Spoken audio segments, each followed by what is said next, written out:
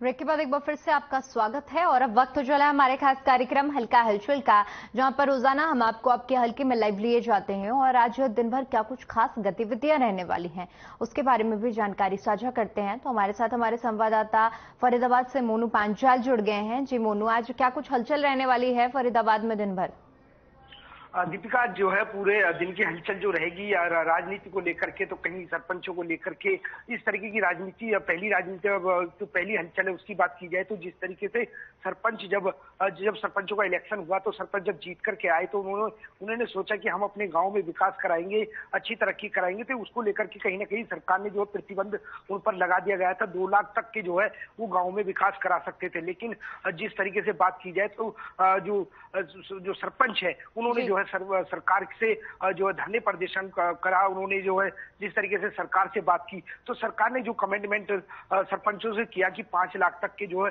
काम करा सकते हैं लेकिन वो अभी जो है बोला ही था तो ले बात की जाए तो कल जो है लेटर जारी कर दिया है मुख्यमंत्री की तरफ़ से सरकार की तरफ़ से जिस तरीके से जो जो सरपंच है वो अपने गाँव में जो है लगभग पाँच काम जो है पाँच लाख के अलग अलग पाँच लाख के काम करा सकते हैं। तो इससे जो है हम्म। लगातार जिस तरीके से देखा जाए कि सरपंचों ने राहत की सांस ज़रूर ली है क्योंकि जिस तरीके से देखा जा रहा है कि दीपिका गाँव में जो है जो सरपंच को जो गाँव है उनमें जो है विकास कार्य रुके हुए हैं। कहीं ना कहीं सड़कें टूटी हुई है कहीं विकास कार्य नहीं होने तो उन मरम्मतों को लेकर के आज जो है सरपंचों ने बड़ी राहत की सांस ली है और पाँच लाख रुपए तक का जो जो नोटिस है वो जारी यहाँ पर कर दिया गया है। तो उसके साथ साथ मैं बता दूँ कि जिस तरीके से गठबंधन जो सरकार बीजेपी और जेजेपी कर रही है तो वहीं जेजेपी ने जो है पंद्रह जिलों में बदलाव करते हुए फेल बदल करते हुए पंद्रह पंद्रह जिलों के अध्यक्ष जो है यहाँ पर बदले गए वहीं फरीदाबाद के कृष्ण जाखड़ को भी यहाँ पर बदला गया। क्योंकि जिस तरीके से बात की जाए तो 2024 के इलेक्शन जो नज़दीक आ रहे हैं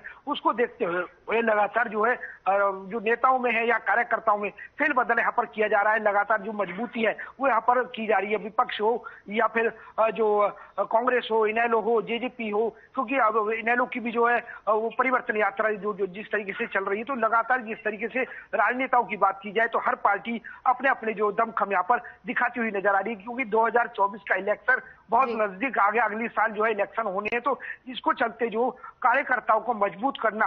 अब ये देखने वाली बात होगी कि फरीदाबाद में किस तरीके से पवन जाखड़ जो जेजेपी के कार्यकर्ताओं को पार्टी को कितना मज़बूत करेंगे तो यहाँ पर इस तरीके की जो राजनीतिक हलचल यहाँ पर चल रही है वहीं उसके साथ साथ मैं बता दूँ दीपिका जिस तरीके से किसानों का जो अनाज था उसको लेकर के मंडी में उठान जो है बहुत तेज़ी से कर दिया गया क्योंकि लगातार जो मंडियों में से जो है अनाज उठान जो है वो शुरुआत हो चुकी है। लगातार गाड़ियाँ यहाँ पर बढ़ा बढ़ा दी गई है। किसान को किसी भी तरीके की कोई समस्या का यहाँ पर जो जो किसी भी समस्या का यहाँ सामना नहीं करना पड़ रहा है। राहत की सांस यहाँ पर किसान ले रहे हैं। आरटीओ ने जो अनाज खरीदा, उनकी भी उठान जो है सरकार यहाँ पर लगातार कर रही है। इसके साथ साथ मैं बता दूँ, मौसम विभाग को लेकर के दीपिका जिस तरीके से मौसम में जो करवट है, हर दो घंटे बाद करवट मौसम लेता हुआ नज़र दिखाई दे रहा है। फरीदाबाद में दो घंटे पहले जो है धूप होती है तो दो घंटे बाद देखा जाता है कि घटाई जो है चारों तरफ़ छा जाती है। तो कहीं ना कहीं कई जिलों में जो है ओलावृष्टि भी हुई है। तो इसको लेकर के कहीं दिन में जो है गर्म मौसम होता है तो रात में जो है जिस तरीके से ठंडा मौसम हो जाता है तो लोग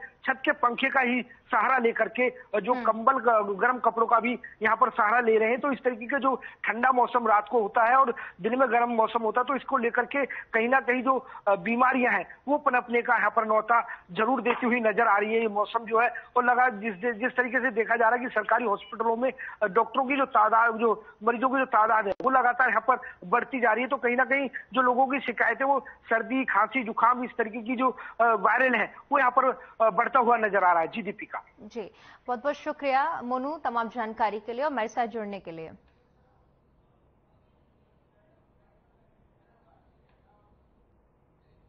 चलिए फ़िलहाल के लिए इस कार्यक्रम में इतना ही। मुझे दीजिए इजाज़त। नमस्कार।